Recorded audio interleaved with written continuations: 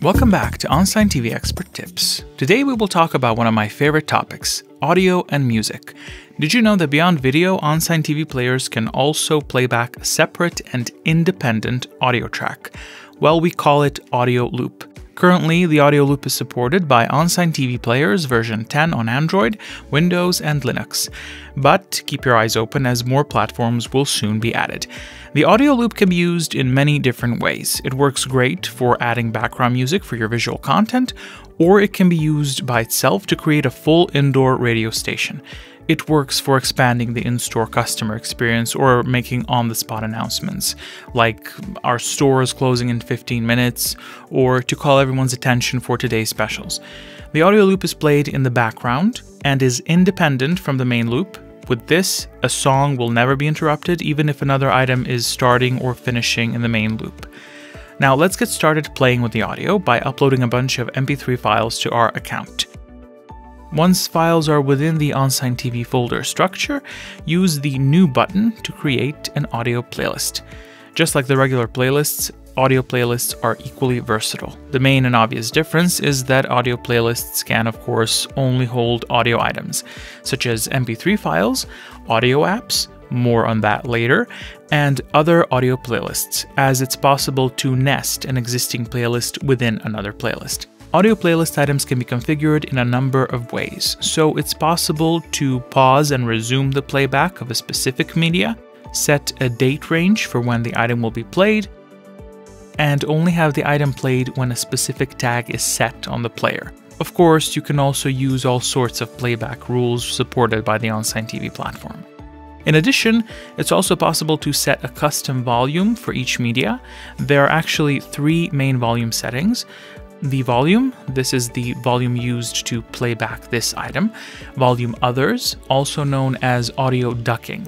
This will change the volume of all other media played in the background while this item is played. And transition, set this to crossfade if you would like a nice transition in between the audio items. To give you a more practical example, this would be a cool setting for an in-store radio. Here we're creating an audio playlist that contains two other playlists. Firstly, an audio playlist with songs configured to play three items per loop, and the second audio playlist with ads configured to play two items per loop.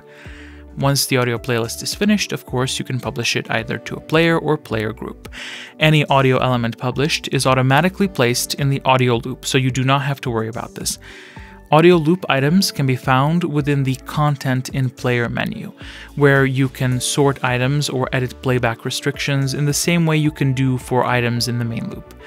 Finally, let's talk about audio apps. Audio apps can be configured in the exact same way as regular OnSign TV apps. So audio apps are an audio asset.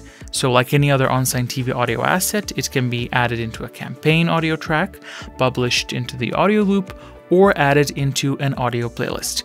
To give you an example, let's play with the audio announcement app.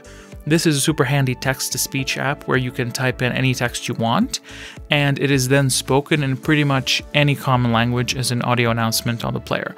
Simply fill out these fields here, enter the text you want spoken here, for example, a special announcement, and specify the language and voice you want to hear it in. By the way, you can choose from over 100 voices in over 30 languages.